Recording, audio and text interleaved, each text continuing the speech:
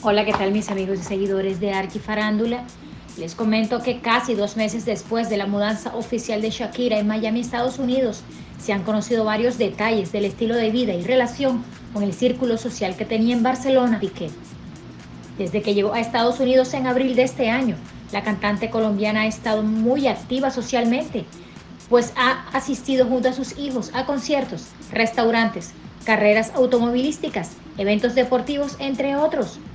La artista se ha dejado ver al lado de grandes estrellas del deporte, música y actuación. En el podcast Las Mamarazis, dirigido por las periodistas Laura Fa y Lorena Vázquez, nuevamente contaron detalles de la vida social de la colombiana en su nueva residencia, afirmando que el estilo de vida que se tiene en Miami fue uno de los principales motivos de Shakira para radicarse de forma permanente junto a su familia en la Ciudad del Sol. También durante el desarrollo del podcast dijeron, una vez más queda demostrado que Shakira no era feliz en España, asegurando que ella vivió un infierno en Barcelona.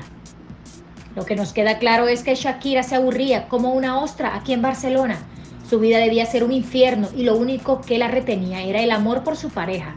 Es cierto que iba a ver baloncesto y practicaba surf, pero lo que hemos visto en Miami Recordemos que durante un episodio anterior, las periodistas indicaron que Shakira nunca logró adaptarse al entorno social de Gerard Piqué y de igual manera recalcaron que tras su separación, la colombiana quedó muy sola en Barcelona.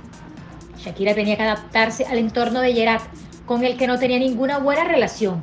Era notorio que ella no se entendía con las amistades de él, por lo cual debió ser muy difícil cuando empezó esta crisis y se quedó sola,